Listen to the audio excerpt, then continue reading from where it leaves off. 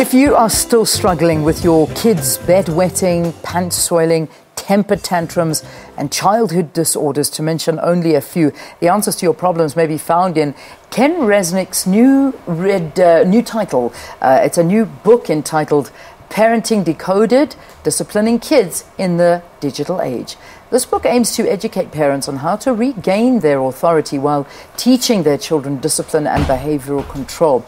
Uh, Ken Resnick is an author and educational psychologist. He is in studio now to tell us a little bit more about this book. Good to have you. Welcome to Morning Live. Thank you. Thanks for inviting me. So, we talk about parenting decoded. So, yeah. uh, my interpretation immediately is in this digital age where everything is about technology, I suppose disciplining kids, technology's got to be a part of it as well. Absolutely. I think that's the big problem. Yeah. I think we've lost the plot as well. Uh, I think too much focus is on the child. The children are going to be assessed. They're going for therapy, and the parents get more and more anxious because they're being labelled with all sorts of disorders. So basically, where I come from, uh, if we sort of got to think back very briefly, that our initial role as parents, if you look at the indigenous people, the Khoisan, they are the primary educators of their kids. In other words, they help those kids handle that environment, that hostile environment from an early age. How to survive, how to recognize berries, how to hunt. They are the primary educators. I don't think you're going to get an ADHD Khoisan child. I don't think you're going to get a child that is oppositional defiant, etc. Yeah. And that's how it used to be years back. And we tend to have lost the plot. So what is happening now is that the children are being isolated, they are being assessed, and the parents are left hanging. In the training of all professionals, in terms of children, there's nothing on parenting. So what I've found, a very sound theory, is that firstly, a child, every child has potential. Yeah. Every child is born to take on life. They're equipped to take on life, but they cannot bring themselves up. Yeah, They're yeah. totally dependent on an adult. That's why it doesn't have to be the biological parent, but an adult, be it a step parent, etc. And they're the educators. So the primary educator is the parent. The secondary one is the teacher. Yeah. But and are we finding that, that in, in this day and age, uh, it's shifting and that parents are not doing their job? Because they don't know. Nobody's helping them. And the kids are in control. What I'm finding that in the majority of households, they're screaming and shouting. Yeah. Now, the moment they're screaming and shouting, the kids are in control. And if the kids are in control, it's chaos. Yeah. Because you don't go anywhere. You can go out. They, they, little three-year-olds don't even know how to say please and thank you. Yeah, tell me about uh, it. And it, it, starts down there, where the moms are doing far too much mm. because they're guilty, shame. Let me do this. Let me do that, and they're just not allowing the kids or showing the kids how to cope on their own. If I can very quickly tell you what I do in my rooms when little kids come, yeah. you've got the time. So normally when young kids come with their parents, I've got a bowl of sweets. There's two things they do. The first is they sit on mom's lap Yes. And I say to them, you've got a choice. You can sit on my lap or next to mom. What do you think they do? Next to mom. Absolutely. Okay. The bowl of sweets are open. Very few will just go and grab. And if they do, I say to them, whose sweets are those? Yeah. And of course, they pull their hand out, they hide behind mom. The majority will walk around those sweets. Eventually, they whisper to mom, and I say, what do they want? They'd like a sweet. They've got to ask me. The majority of them will not ask me. Now, hmm. that's already indications of problems. Mom is there, everything's safe, and that child will not ask me. Eventually, the few that do will sort of mumble. I get them to say, May I have a sweet, please? Yes. They have these little endearments that are easy to open wrappers. They take the sweet out. Give What's the mom. first thing? Give it to mom to open. Yes. They want that sweet, they open it. Two year olds can open it. Eventually, they open it. What do they do with the wrapper? Give it to mom. Absolutely. My child will there. run across. He'll run across a field, a field of dustbins. Yeah. He will. There'll just be dustbins everywhere, and he'll find me standing probably about a k away and run to me to give me a piece of paper so I can throw it away. No, exactly. Like, what do I look like a dustbin? But, but you see, it's indicating made- that. now, what have I done wrong, Doc? No, this the thing bad. is, the thing is, they, what they can do, they must do. So he can take it off. If he doesn't take it off, he doesn't have a sweet. It's Yeah, as simple as that. yeah. They're able to. So they've got to learn to persevere. And one of the early warning signs of issues with kids is lack of pers- perseverance, where they only want to do what they want to do. So the moment it gets hard, mom, you do it. Mom, pick me up. Hmm. They give up the moment the going gets tough. They're scared. Of trying are, something. Are we talking from three-year-olds? Right from birth. Right from it's all about choice. 10 month old children, when they cry to be picked up and you pick them up and they stop crying, have made a choice. Yeah. So you've got to be able to give them choices right from an early age, but let them understand what the choice means. So, for instance, they don't want to eat their food. They don't have to eat their food. Yeah. What does it mean? It means that, and you're not cross, that's the important thing. It means that they're choosing to go and play in their room. We don't know why, we're a little bit surprised. They get hungry later on, tough. Kitchen's closed.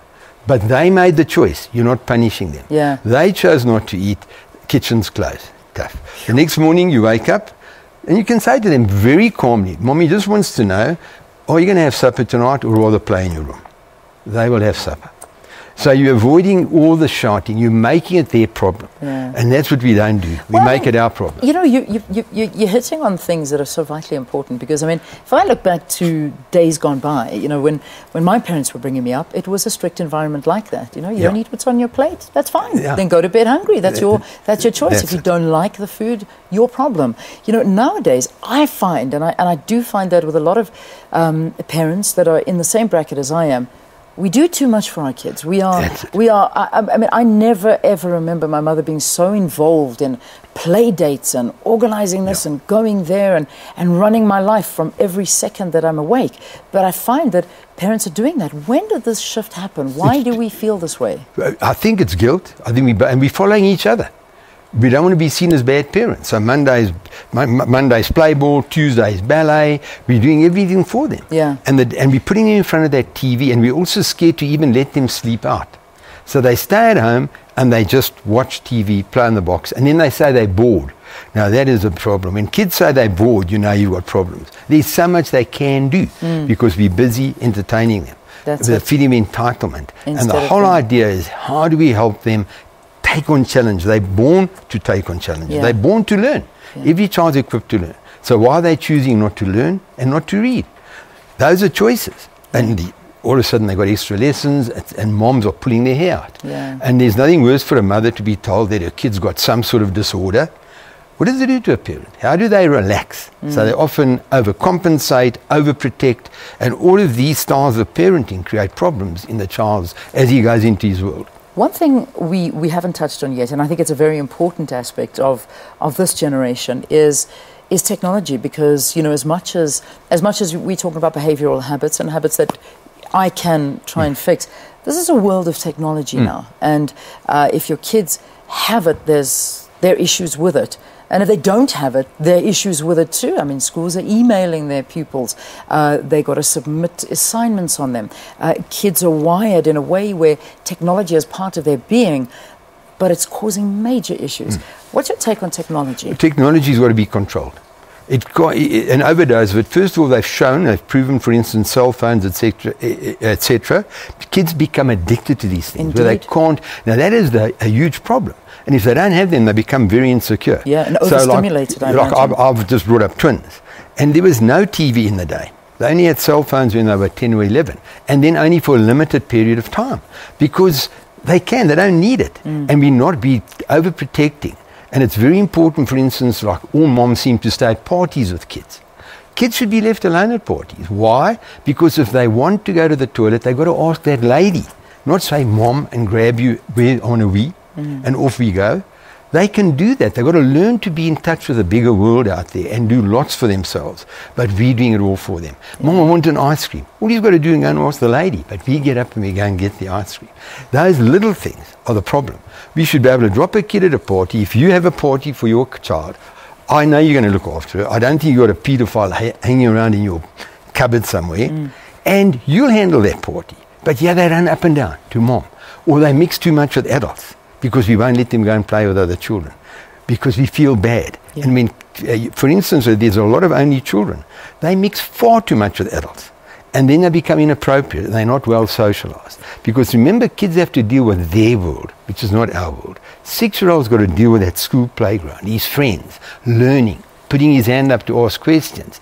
And if we haven't equipped him for that, he comes home and we're doing it all for them. So we're actually telling them you don't have to because somebody's going to help you.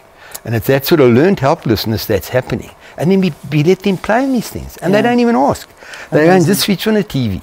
They go and take a, a cell phone out of your bag without even asking. That is a fact. That is a fact. So we have all, and those are early warning problems. Our kid, to this day, my kid, they're 15, my stepkids, they never turn on that TV without asking me. Wow. And they said to me, but isn't it a family TV? I said, sure, but it belongs to me. Yeah. You ask. That's all. I'm never going to say no.